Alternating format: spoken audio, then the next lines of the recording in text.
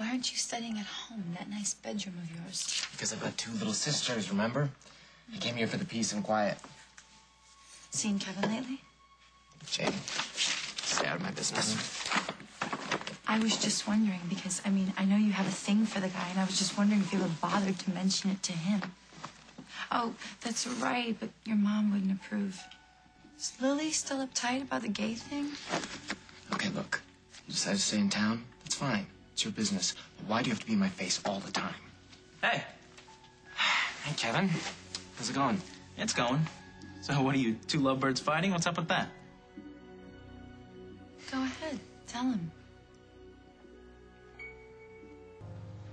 So, Jade and I, um, we're not seeing each other anymore.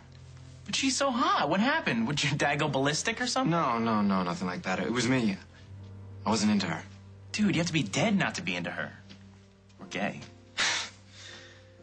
Well, um, actually,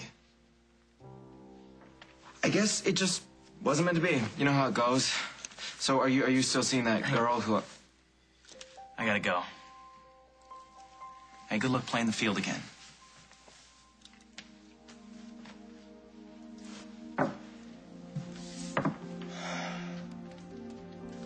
Didn't you tell him? Why do you even care? I'm just curious. Look, coming here was a bad idea. Yeah, and coming out wasn't such a hot one either. What do you even know about it? Why bother telling your parents if you can't even work up the nerve to tell your friends? Jade, why do you care? I just don't understand what the point of coming out was if you're still in the closet. Jade, what is up with you? Are you so upset because you got kicked out of my house? Because you know that's all on you. I just think the whole thing is stupid. Okay, we had a good thing going, pretending to be together, and you just had to come up with this huge confession to your family for what? Because it's better than living a lie. Keep telling yourself that.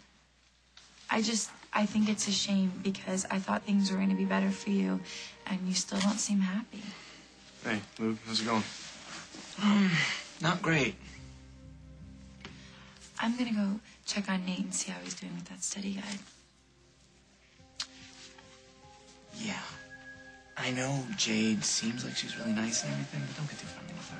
Well, she's just helping me find some stuff to help you study. How are you folks doing?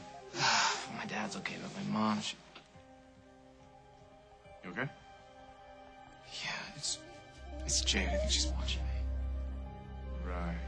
Let's uh let's get out of here and then let's go take a walk or something.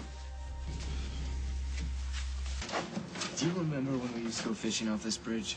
Yeah, when we were kids and you were forced to be nice to me, I remember. Yeah, well, it all turned out for the best. I mean, you're the only friend I've got. The only guy that knows that I'm gay. I thought coming out to my parents would be the hard part. Well, what's harder than that? Coming out to everybody else. You know, everybody I know has has this this view of me. And I know that I'm something different and it's just you know, I'm sorry, man. I I I thought your folks would be more understanding. I just wish that they'd stop arguing, you know? I, I wish that my mom would just accept it. Did you hear something? Uh, it's not Jade. She wouldn't follow us out here. It's probably just somebody passing by. Yeah. Yeah, or else, or else I'm imagining things. That'd be my bad. hey, Will, thanks. Thanks for listening. I feel bad. You know, maybe I gave you the wrong advice by telling you to come out. No, no. Nothing's worse than being dishonest with the people that you love. Yeah? Nothing worse.